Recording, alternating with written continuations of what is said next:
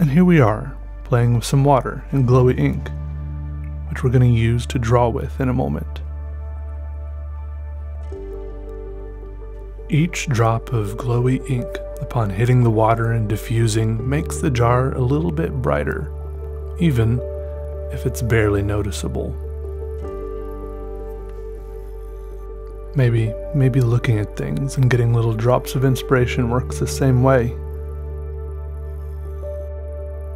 I don't know, maybe, maybe my brain jar will get so bright one day that it'll just explode or or none of the drops will make a difference anymore. Who knows? I don't know how it works. I haven't tried adding that many drops yet.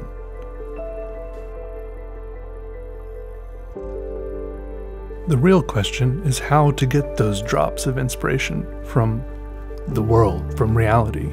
Some people wonder about how to get milk from almonds. That's another good question. It turns out they soak them and blend them and strain them and and probably add some sort of sweetener. And they probably add milk.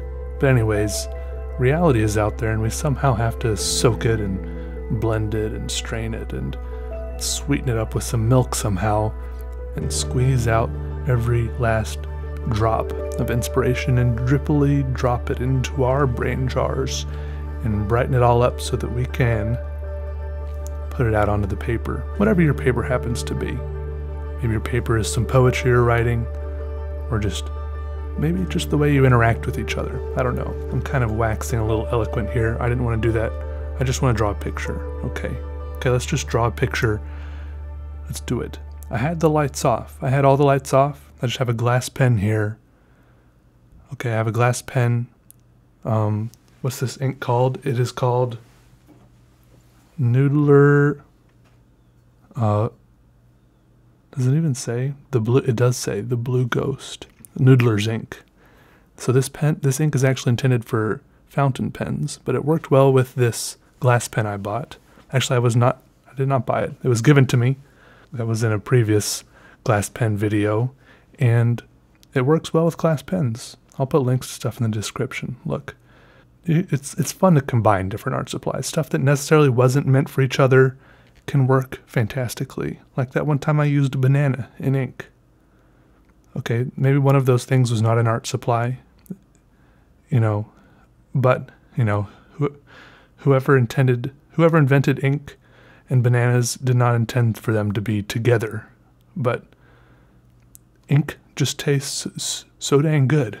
But look, this drawing was great. I had to be very careful not to get any of the glowy ink on my fingers because I was touching the paper a lot with my left hand, and I knew very that very easily I could start smudging, and any smudging would be so painfully apparent.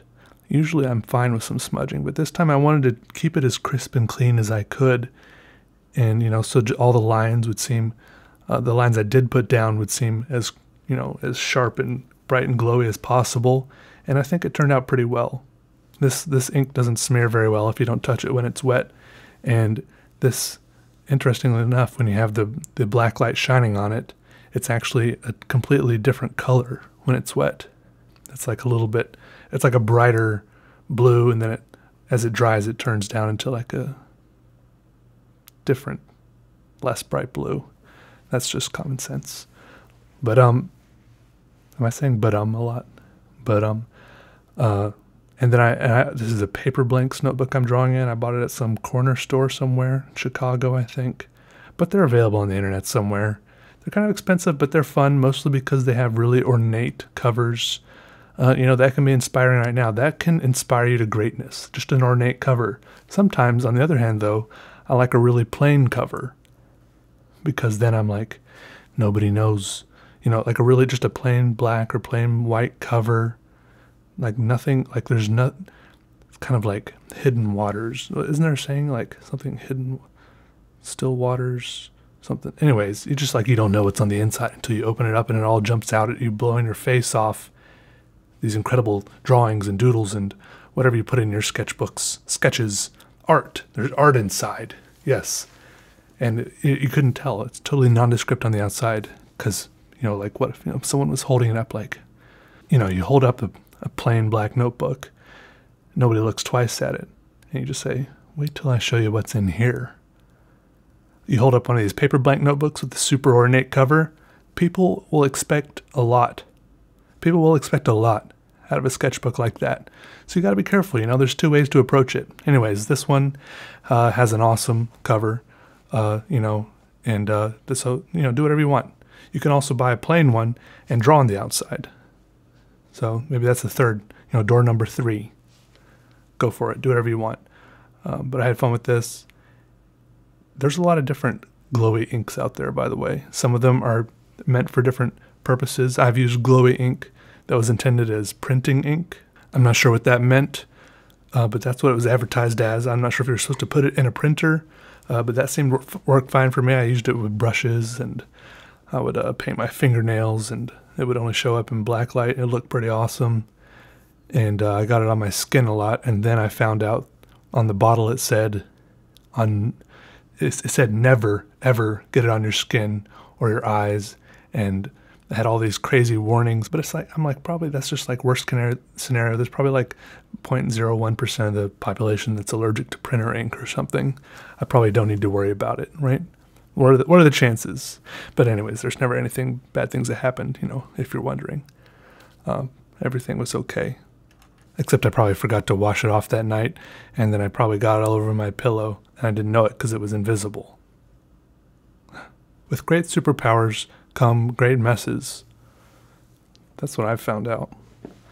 Anyways, so get out there, get those almonds of life, make that inspirational almond milk, you know, however you have to go about it. Squeeze hard.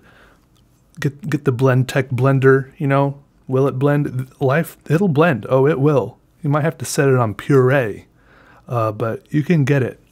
Even the most simple simple things that might seem the, the hardest, the toughest, uh, maybe they just need to soak for a while. That's the first step in making almond milk. Just let it soak for a while, overnight or up to two days. All right? No rush. Let it sit, let it simmer, let it marinate. It's, it's going to be okay. All right. Uh, y'all take it easy. Uh, goodbye. Goodbye. Uh, yeah. I feel.